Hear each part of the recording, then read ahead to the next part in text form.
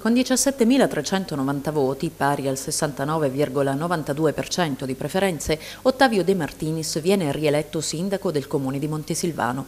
Al suo sfidante, Fabrizio D'Addazio, gli elettori hanno accordato 7.712 voti, con una percentuale di gradimento equivalente al 30,08%.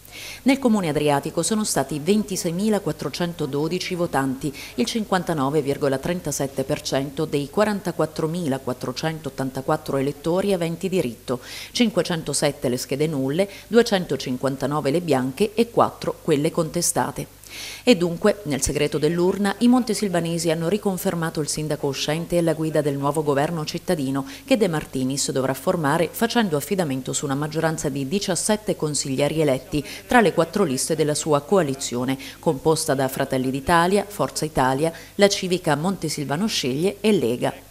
Nelle fila dell'opposizione sette consiglieri eletti, compreso il candidato sindaco sconfitto Fabrizio D'Addazio, sostenuto da una coalizione di quattro liste composta da Partito Democratico, Movimento 5 Stelle, la civica Fabrizio D'Addazio sindaco e Alleanza Verdi Sinistra. Sul podio delle liste più votate a Montesilvano al primo posto c'è Fratelli d'Italia con il 27,53%, seguita da Forza Italia al 19,19%, Montesilvano Sceglie con il 17,71%, Partito Democratico con il 14,91%, Lega Salvini al 7,06%, Movimento 5 Stelle al 6,2%, D'Addazio Sindaco con il 4,53% e Alleanza Verdi-Sinistra con il 2,87%. Alla luce delle preferenze accordate dagli elettori votanti e consiglieri candidati, il nuovo Consiglio Comunale di Montesilvano risulterà dunque così composto.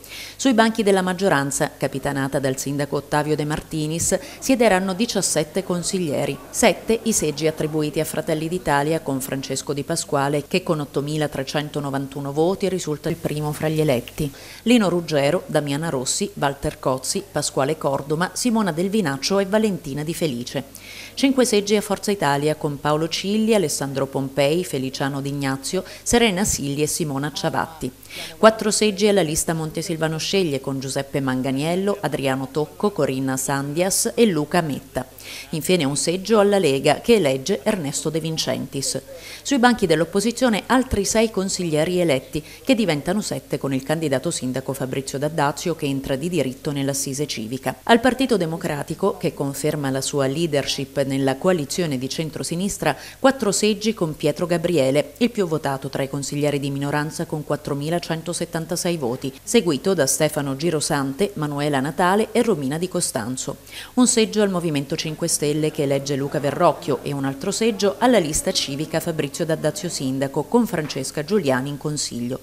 Resta invece a bocca asciutta la lista Alleanza Verdi-Sinistra che con 718 preferenze accordate dagli elettori non riesce ad eleggere alcun candidato. 24 in tutto i nuovi consiglieri eletti, 9 donne e 15 uomini, più il sindaco Ottavio De Martinis, al quale ora spetterà il compito di formare la nuova giunta per dare continuità al suo precedente mandato. Queste le dichiarazioni a caldo del primo cittadino dopo la sua rielezione. Oggi non solo la fiducia è stata rinnovata, ma è stata rinnovata anche e soprattutto per, per l'ottimo lavoro che è stato fatto da, da, me come sindaco e dalla coalizione di centrodestra, soprattutto in un periodo in cui la nostra vita è stata stravolta da, dal Covid. E oggi la nostra Montesilvano è sotto gli occhi di tutti, non è la città dormitorio di cui si parlava, non è una città spenta, ma è una città oltremodo viva, attrattiva da un punto di vista turistico, tanto c'è da fare, tanto abbiamo fatto e sono contentissimo di poter continuare un percorso, come ho detto, in queste settimane settimane di campagna elettorale.